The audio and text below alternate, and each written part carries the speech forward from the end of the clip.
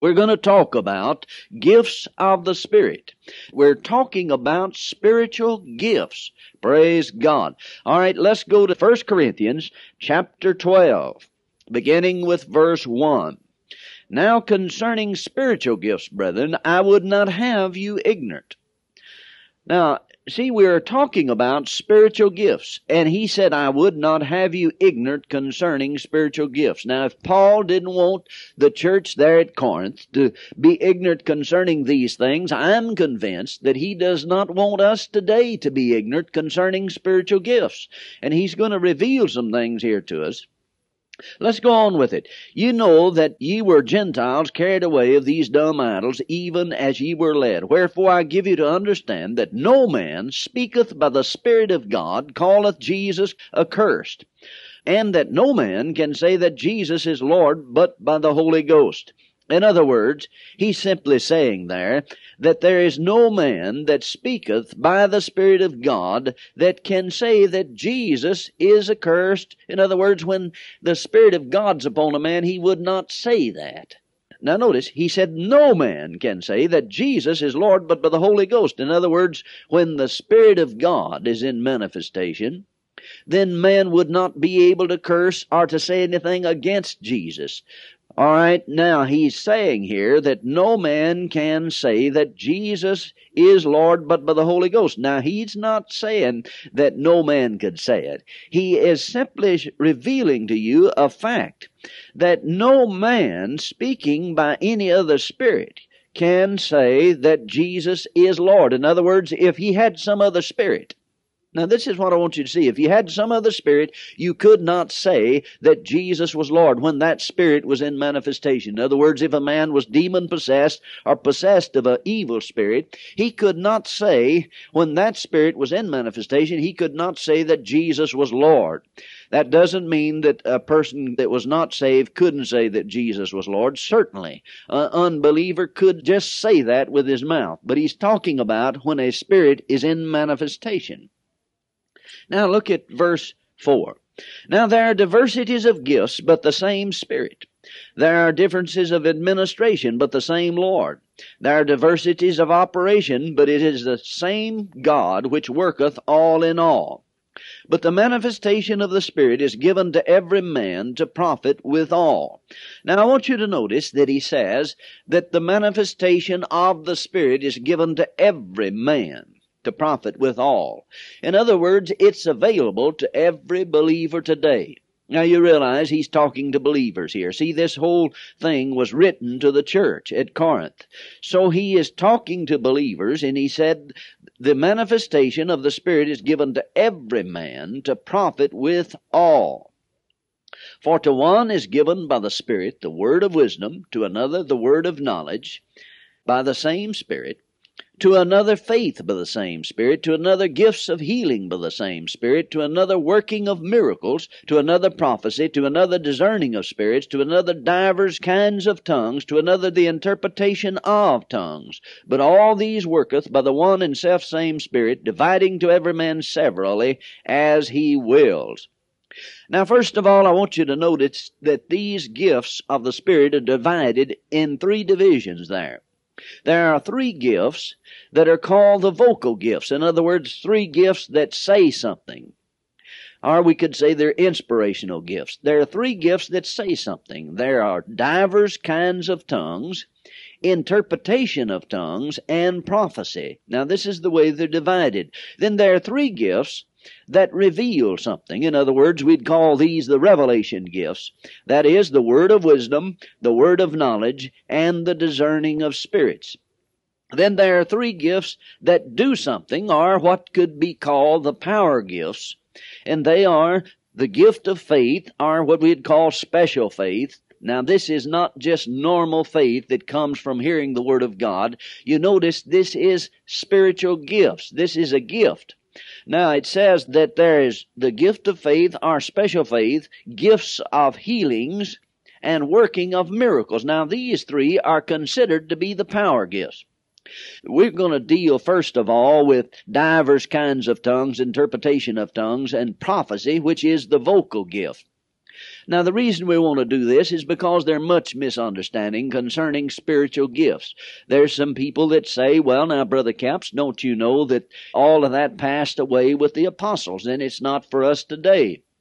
No, no, you see, he's writing this to the church. This is to the church, and thank God it didn't pass away. I realize that sometimes people have been taught that, and I can see that if you'd been taught that way, you'd believe that way.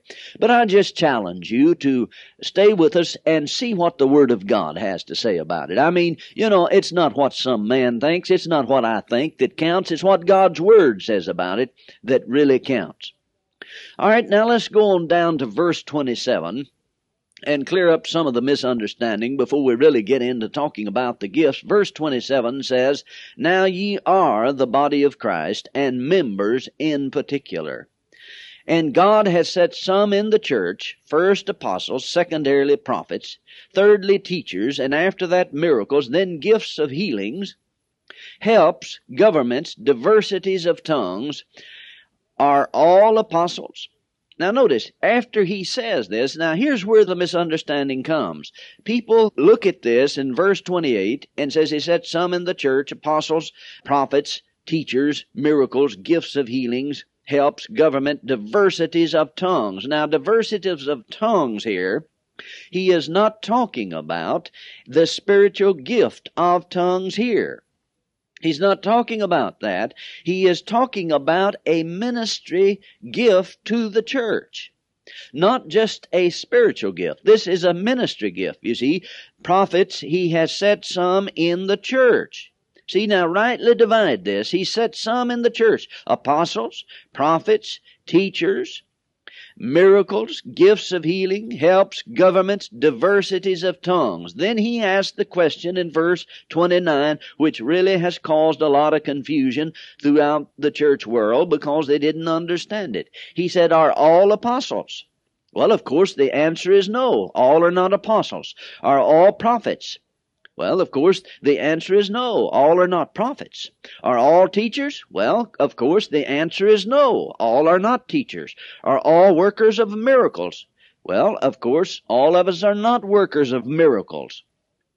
Have all the gifts of healing? Well, certainly not. Not all have the gifts of healing.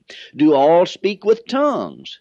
Well, now you see, there's where people get sidetracked do all speak with tongues as a ministry gift. As a ministry gift to the church? No. As a ministry gift to the church, all do not speak with tongues. But yet, if you're filled with the Holy Spirit, or what we'd call baptized in the Holy Ghost, then the evidence would be speaking with other tongues. Every believer can speak with tongues. Every believer should speak with tongues. But as a ministry gift to the church, not everyone has the gift, the ministry gift of tongues.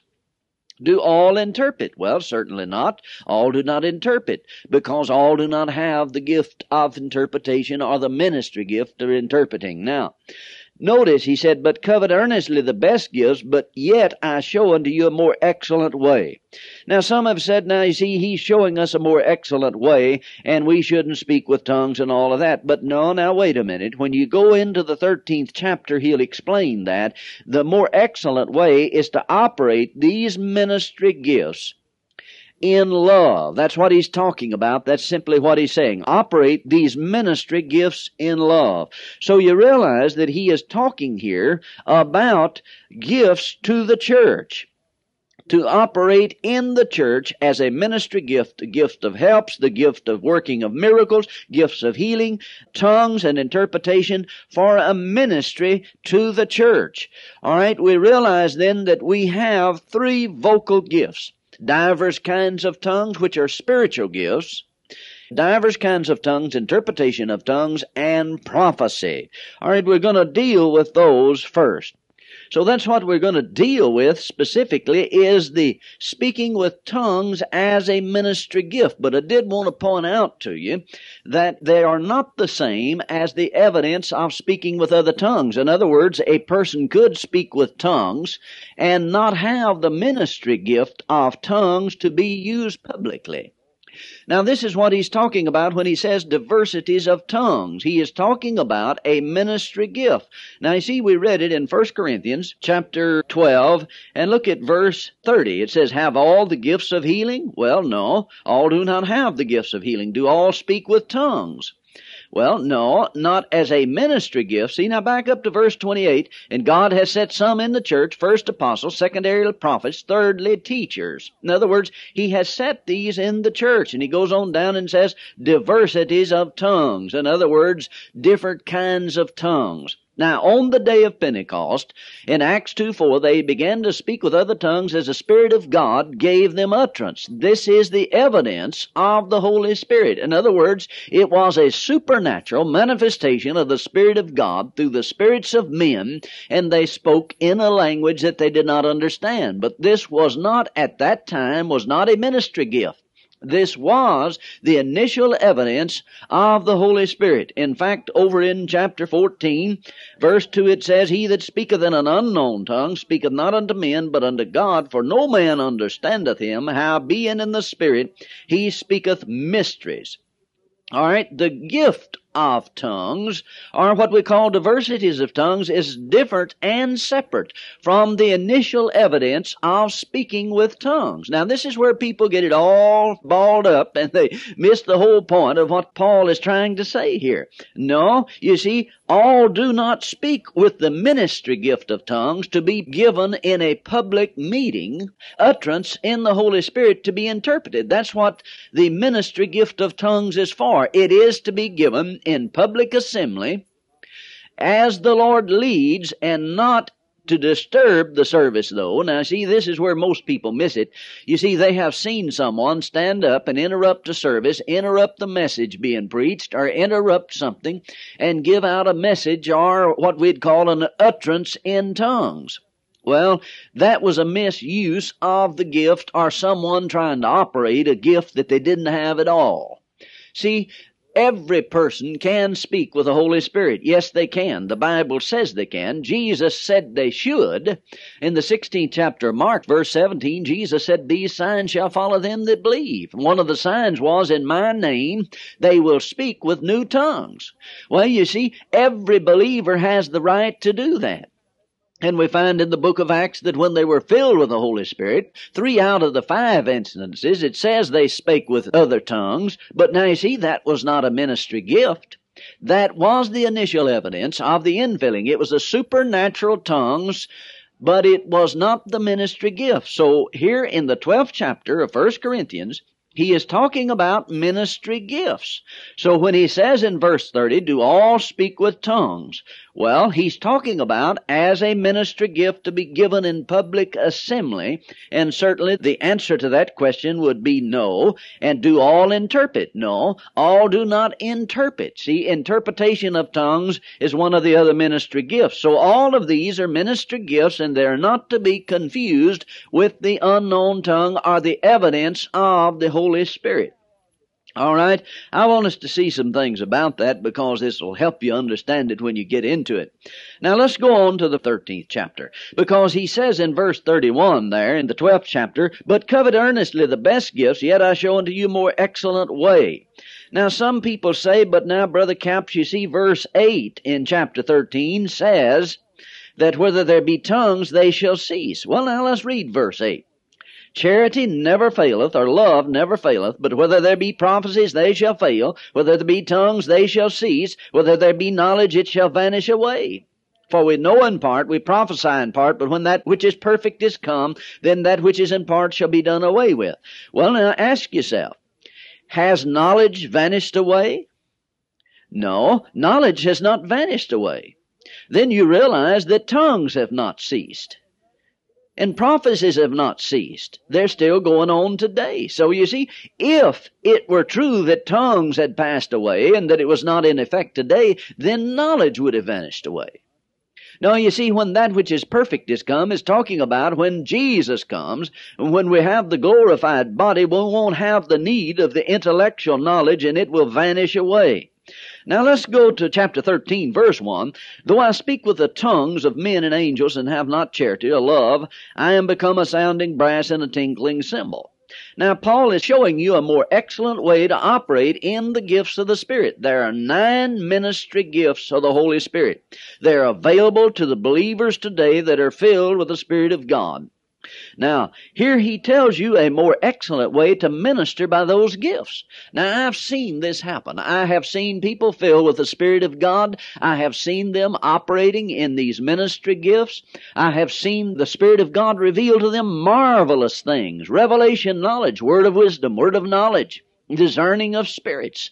But I have seen some of these people that did not operate the gift in love. In other words, they'd call someone out of the audience and reveal an open sin that they had committed right before the whole audience and say they were living in sin.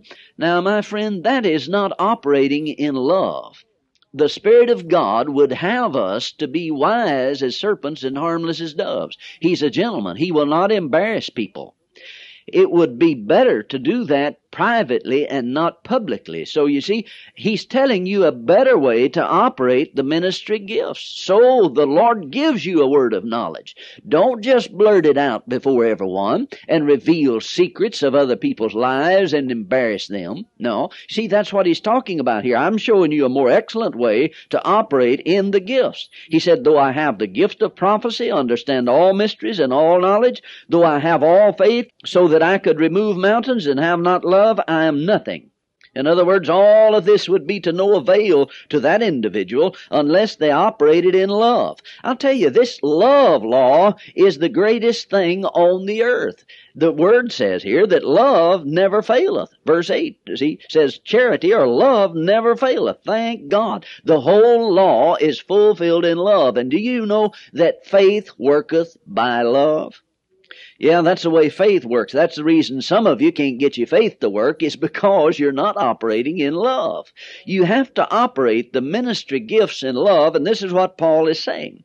Though I bestow all my goods to feed the poor, though I give my body to be burned and have not love, it profiteth me nothing. In other words, it would profit, sure, it would profit the individual that he gave it to, I mean, if you gave all your money to the poor, gave all your household goods to the poor, certainly it would profit them. But he said, unless I do it in love, it won't profit me.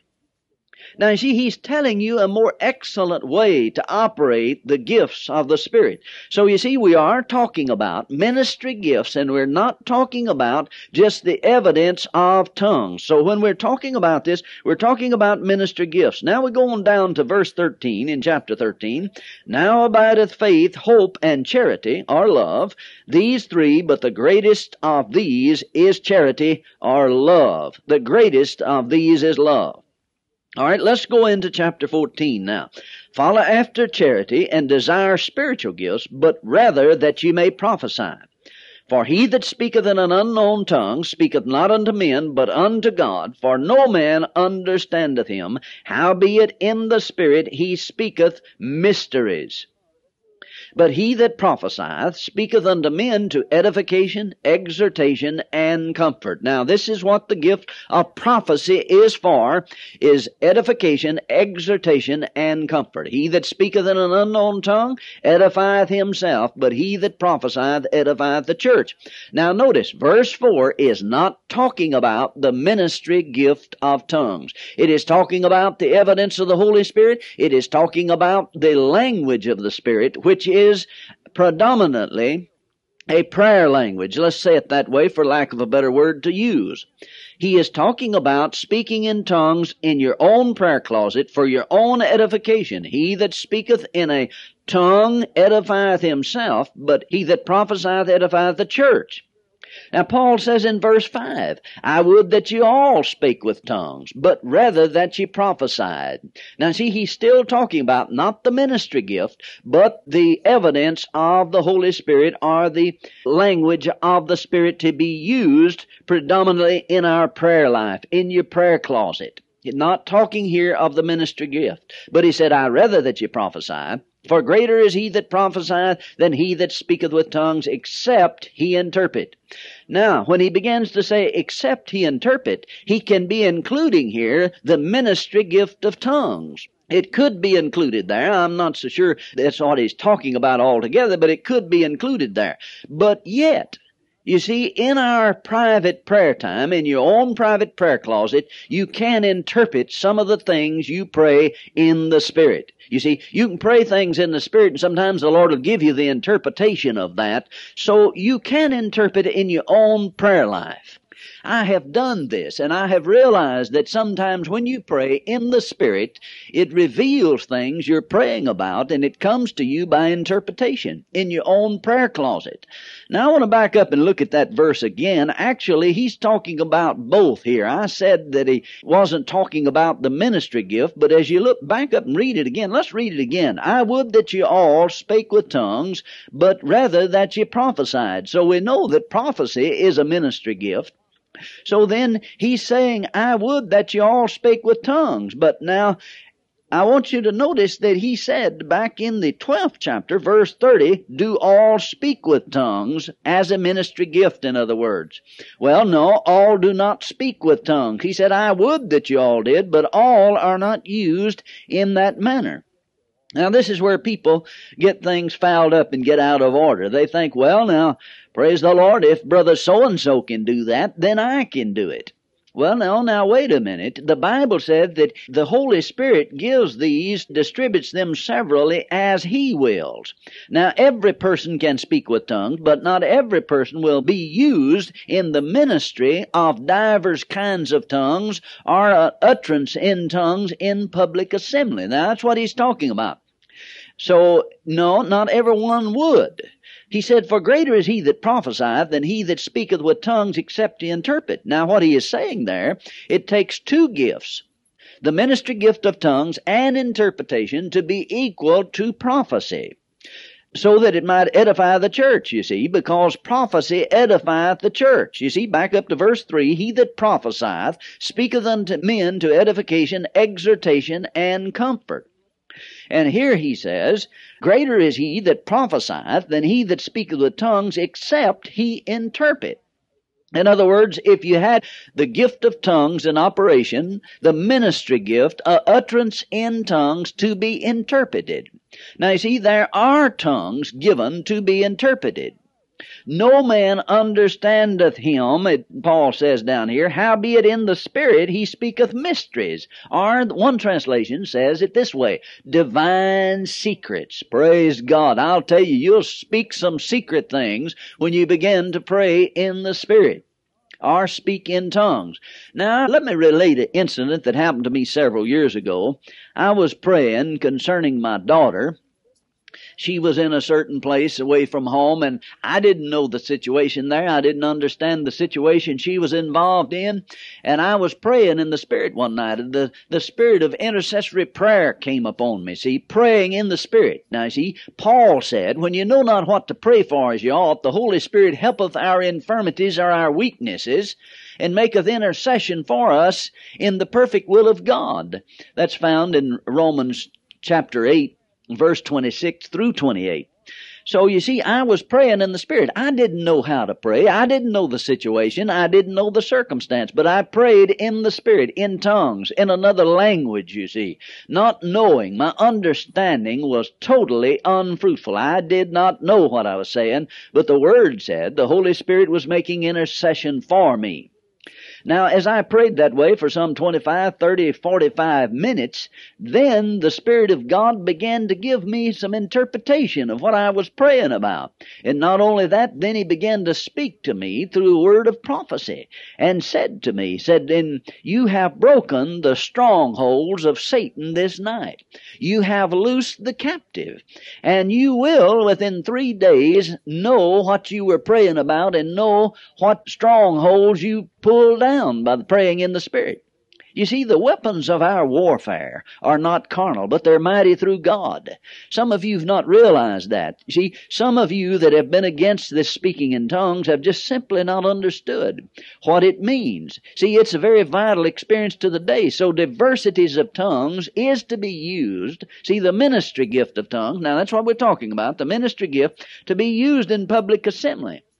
But you can pray in the Spirit. Everyone can pray in tongues in their own prayer closet. And Paul says that. I would that you all speak with tongues. All right, now let's go on with this. He says, My brethren, if I come unto you speaking with tongues, what shall I profit you except I shall speak to you either by revelation or by knowledge or by prophesying or by doctrine? In other words, he says, what good would it do you? Now, see, here's what you need to understand that the church at Corinth had gotten out of line with the ministry gifts. They were abusing the gifts. They were not operating them the way the Word of God would have us to do it. And he goes on and talks about that there are many sounds in the earth and none of them are without signification. But go on down with me. Let's start down there in verse 10. There are, as it may be, so many kinds of voices in the world, but none of them without signification. Therefore, if I know not the meaning of the voice, I shall be unto him that speaketh a barbarian, and he that speaketh be a barbarian unto me. Even so, ye, forasmuch as much as ye are zealous of spiritual gifts, seek that you may excel to the edifying of the church. In other words, Paul says, you need to seek to excel in that which would edify the church. In other words, not just a lot of speaking in tongues in public assembly with no interpretation, because it will not edify. They would not know what you said. It would build you up. It would build me up personally if I went in and did that other than being out of the direction of the Spirit of God, see? It would be all right. But you see, it would be wrong because it would disturb the church. It would not edify the church. And in fact, Paul went on and to say, well, let's go on and read it. Verse 13. Wherefore let him that speaketh in an unknown tongue pray that he interpret. In other words, if you have the ministry gift, he said, pray that you interpret that. Because if you were to give an utterance in tongues in a public assembly, and there was no interpreter there, it would not edify the church. So he said, if you have this gift, pray that you may interpret. And not only that, you can pray that you interpret in your own prayer life. So, all of us can do that, could enter into that, either by interpretation of our own prayer life or interpreting in public assembly. For if I pray in an unknown tongue, my spirit prayeth, but my understanding is unfruitful.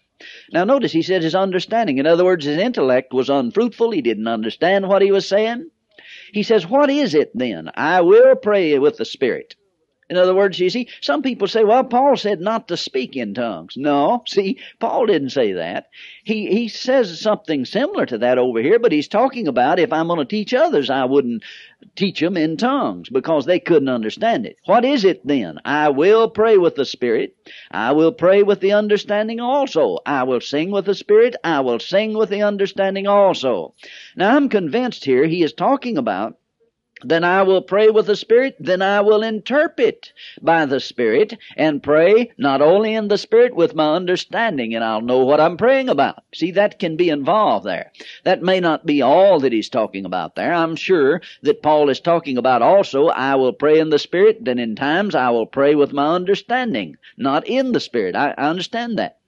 He said, I'll sing in the Spirit. Now, some of you didn't know that you can sing in the Spirit, in other tongues, in another language that you did not learn. See, it's supernatural. This is the supernatural manifestation of God's power within the believer. Jesus said, These signs shall follow them that believe, in Mark chapter 16, verse 17, 18. In my name, he says, they'll speak with new tongues. Well, this is what Paul's talking about here. Now, he goes on to say, Else when thou shalt bless with the Spirit, how shall he that occupieth the room of the unlearned say Amen to thy giving of thanks, seeing he understandeth not what he saith? For verily thou givest thanks well, but the others are not edified. Now see what Paul's saying? He said if it's not given for edification, then he said you shouldn't be doing it. Don't do it in public assembly. Don't pray over your food in tongues when there are several people around because they don't know what you've prayed. It wouldn't edify them. Now look at verse 18. Paul says, I thank my God I speak with tongues more than you all. Yet in the church I had rather speak five words with my understanding, that by my voice I may teach others also, than ten thousand words in an unknown tongue. In other words, if you're teaching people, don't try to teach them in tongues. Now that's simply what Paul's saying. No, he's not saying not to speak in tongues in church. He's talking about the ministry gift can be used in the church, the ministry gift of tongues, but not just to come into the church and begin to just speak when there is no interpreter or you didn't have the ministry gift of tongues. There is a difference. Let me say it again. There is a difference between the ministry gift and the simple speaking in tongues. What I'd like for us to do now is back up into the 14th chapter to verse 5, and let's say a little bit about the interpretation of tongues. Paul says, I would that ye all spake with tongues, but rather that ye prophesied. For greater is he that prophesieth than he that speaketh with tongues, except he interpret, that the church may be edified. Now here's what I want you to understand. That there is interpretation to tongues given as a ministry gift. There is also interpretation to your private prayer life in your own private closet of prayer. You should seek to edify yourself in this manner and have interpretation there. But in a public assembly where utterance in tongues are given by the Spirit of God decently and in order. I want to add that because I've seen a lot of it out of order. I've seen a lot of it that was just the flesh operating. I've seen a lot of it that was not real. But friends, I want you to know that this is a real ministry gift and it bears us taking time to understanding. Now, some of you have just thrown it out and said, no, I've seen too much of that. It's not right. Well, what you saw might not have been right. And I'm convinced that if the denominational world could see this as it should be seen, they would be willing to accept it. Well, now look at what Paul says. He said, Greater is he that prophesieth than he that speaketh with tongues, except he interpret, that the church may receive edifying. In other words, interpretation of tongues. Now, that's one of the gifts. In other words, there is a ministry gift of interpretation of the ministry gift of tongues. All right, he said, when you do that, you will edify the church it would edify the church. It'd build them up. It'd help them also. Now, Paul said in another place, you know, if there's no interpreter present, just let him speak unto himself and unto God. But here he says, except he interpret. In other words, tongues and interpretation would be equivalent to prophecy. And he said that prophecy would edify. It was given for edification, exhortation, and comfort. Verse 3, let's read that. He that prophesies speaketh unto men not unto God. Now notice, if you speak in an unknown tongue, you speak unto God, not unto men. But when you prophesy, you are speaking to men to edification, exhortation, and comfort. In other words, you're exhorting men by the Spirit of God. By the anointing of God that comes upon you, you're exhorting men and bringing comfort, words of comfort, words of edification. Now, too often I have seen this where supposedly the gift was operating or someone was trying to operate the gift. Let me say it that way. Trying to operate a gift that they didn't have. And they were bringing forth words that was not edifying, words that were not comforting, but they were words of doom and destruction. Now you see, this is not what the simple gift of prophecy is for. This does not mean that because you have the gift of prophecy that you are a prophet. That is a different gift altogether. That's a different ministry calling. But this simple gift of prophecy is speaking exhortation, edification, and comfort to the body of Christ. It might only be just a verse of scripture that the Spirit of God caused to rise up within you. You speak it forth. It's to exhort and edify. But you see, sometimes people don't understand that and they try to operate something they don't have.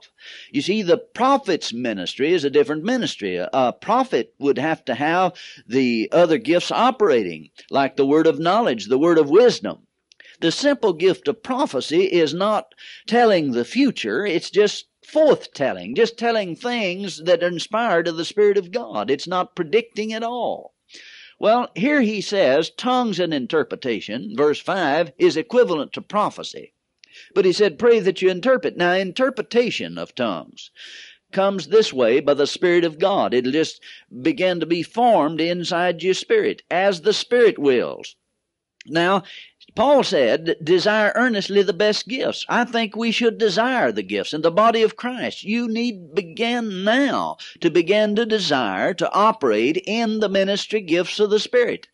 For they're available to you but they're given to every man severally as the Spirit wills. You can't just operate it when you want to. And that's where a lot of people get in trouble, and that's where some of you have become turned off to the ministry gifts of the Spirit because you've seen people trying to operate something that they didn't have at all. But when you see it in operation by the Spirit of God, you'll know it's true and you'll know it's available to us today. All right, interpretation of tongues is simply what it says. It is interpretation. It is not translation. Now sometimes people say, well, Brother Capps, I heard somebody give a utterance in tongues and it was only a few words. And then there came a long interpretation. Somebody gave a long interpretation. They say that couldn't be right. Well, it could be. It might not have been, but it could be right. Because you see, it is interpretation of tongues. It is not translation. Now, if it was translation, it would be a different story. But you see, the person that interprets uh, utterance in other tongues supernaturally by the Spirit of God, see, being a ministry gift, it would come supernaturally into their spirit. They might say it a different way. I've been in services where when I interpreted a message, there was a person present that understood the language that was spoken. In Kansas City several years ago, there was a lady gave an utterance in tongues. Well, I didn't understand it because I didn't know what she said, but by the Spirit of God, I got the interpretation of it. So I stood and gave the interpretation as the Spirit of God gave it to me. There was a lady there that spoke that language. In fact, I believe it was Spanish, and she said, You know, Brother Cap said I understood the language that that lady was speaking in. Now you see, that unknown tongue means unknown to the person that was speaking it. See, there was a person in this particular instance that knew the language which was being spoken. She said, now when you interpreted that, she said, you didn't say it like I would have said it. In other words, she said if I'd have translated it, I'd have said it in different words. But she said, as I thought about it, she said, you know, said, I believe that you actually said it better than I would have knowing the language. You went in a roundabout way to say it. But she said, you really explained it better than I would have. Well, you see, that's what interpretation of tongues is. It is interpretation and not translation. So there could be a message, or what we call an utterance in tongues, that would be short, and there'd be a long interpretation of that. Because I tell you, for instance, if you just ask three people, how's the weather? Well, someone might say, good. Someone else might say, well, I'll tell you, the weather has been fine for the last few days, but it looks like it's going to rain. Then you might have someone that go into a long, drawn out discussion about the things that happened the last few days and talk about the weather. Well, you see, that'd be an interpretation of their answer to the question. So you see, it would be interpretation and not translation when we're talking about interpretation of tongues. So you see, there is a ministry gift of divers kinds of tongues. There is the ministry gift of interpretation of tongues. And sometimes when people don't realize that, they get all confused.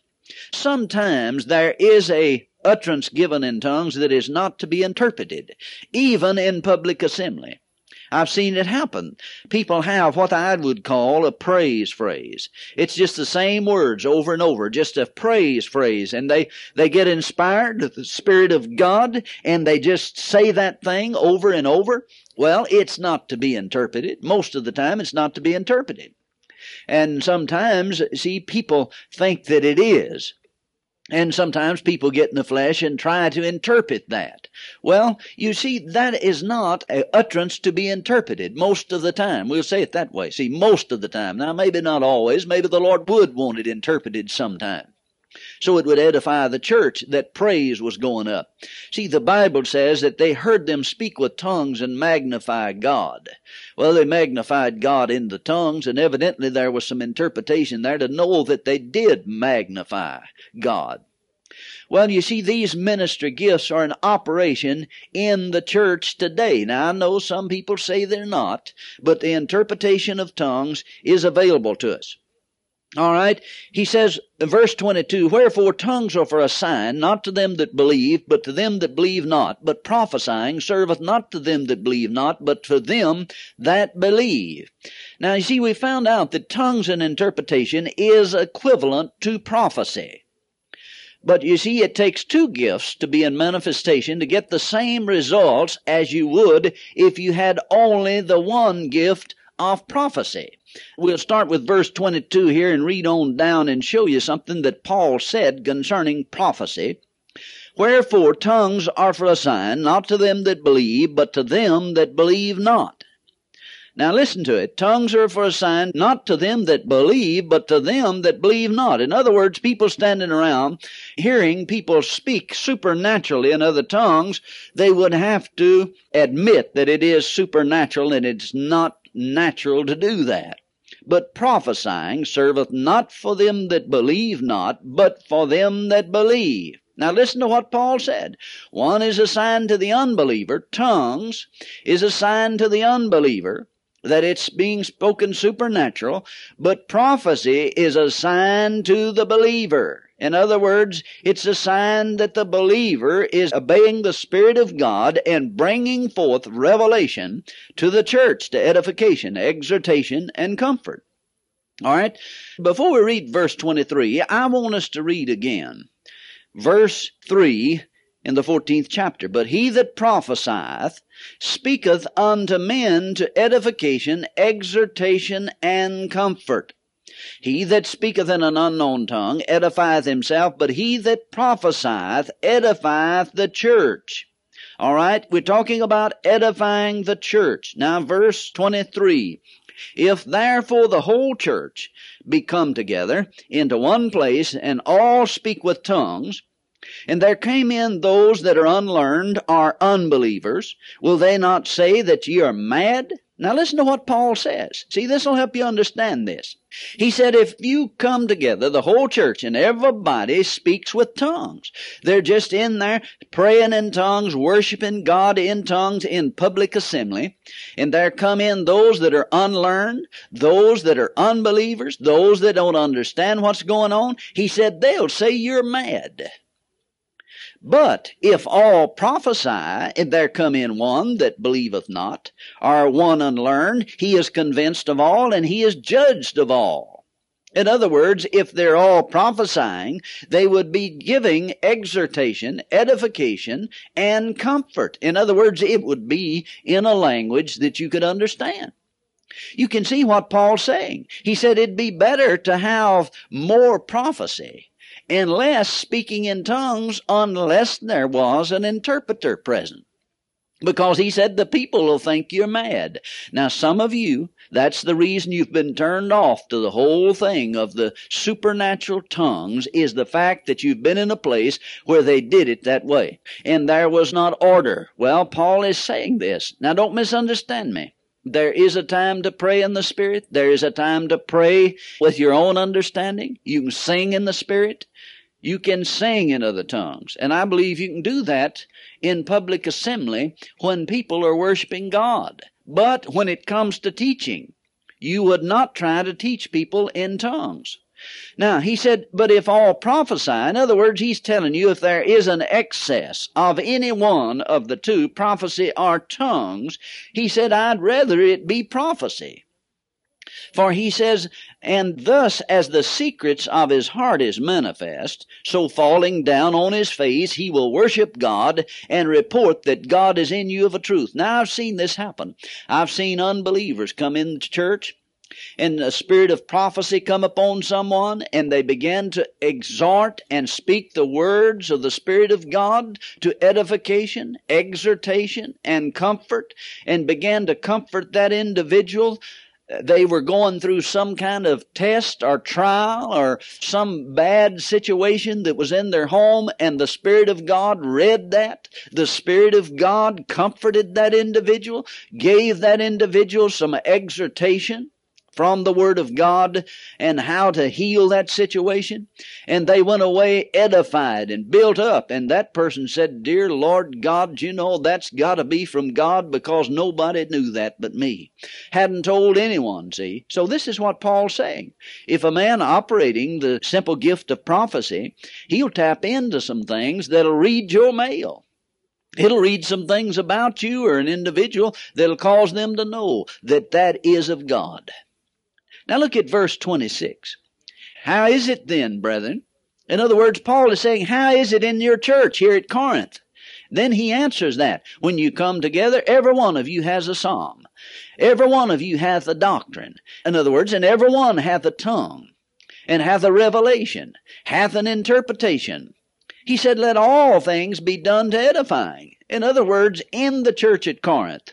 Here's what the problem was. When they came together, everybody had a psalm. Everyone wanted to preach a doctrine. Everyone wanted to speak in tongues. Everyone had a revelation. Everyone had interpretation. In other words, he said, Let all things be done to edifying. Don't do all things. he said, Let it be done to edifying. In other words, everyone shouldn't be involved in the whole thing. Now, it seems to say that different, but let's go on and read. If any man speak in an unknown tongue, let it be by two, at the most three, and that by course, and let one interpret. But if there be no interpreter, let him keep silence in the church, let him speak unto himself and to God.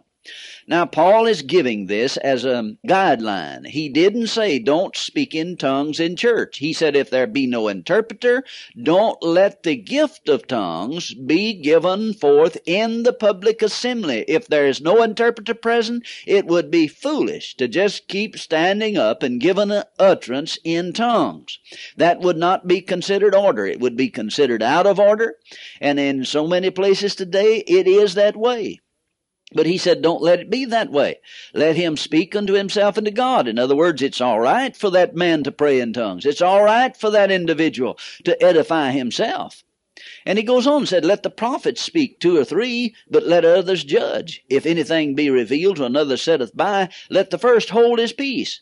For ye may all prophesy one by one, that all may learn, and that all may be comforted and the spirits of the prophets are subject to the prophets. Now, here's the thing I want to bear hard on.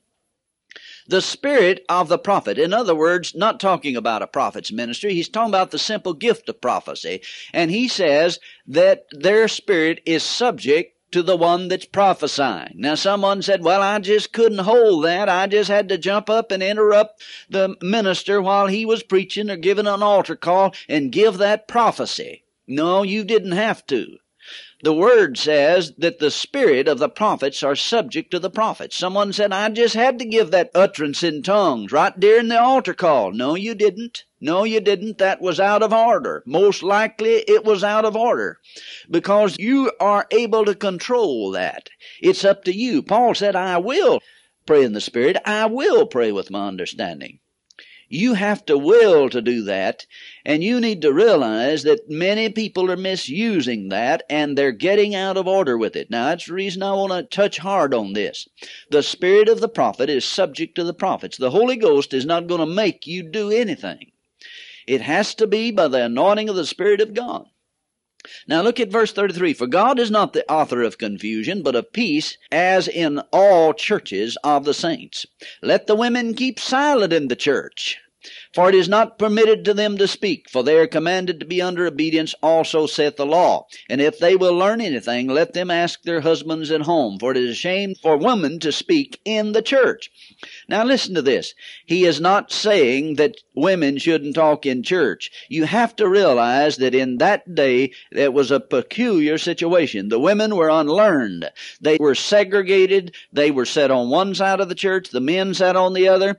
And while they were preaching, why, you know, John's wife might holler out and say, Hey, John, is that true what he's saying? And John would have to holler back across there and say, Oh, shut up now. I'll tell you when I get home. Well, how would you like to try to preach with all of that going on? Well, it would be a problem, wouldn't it? Well, you realize then that this is what he's talking about. He's saying, let them ask their husbands when they get home. Don't disturb the church. And that's simply what he's saying. Now look at verse 39. Wherefore, brethren, covet to prophesy, forbid not to speak with tongues, let all things be done decently and in order. Now sometimes people want to just kick it all out because it's not done in order and decently. He said, let all things be done. But while you're doing it, do it decently and in order. Yes, he said, covet to prophesy, forbid not to speak with tongues. Well, thank God. Tongues is for us today the ministry gift of tongues and the interpretation of tongues and the gift of prophecy are the three vocal gifts. They're ministry gifts. They are for you today. They're available to you. And thank God we ought to covet earnestly these gifts. Let all things be done, but let it be done decently and in order.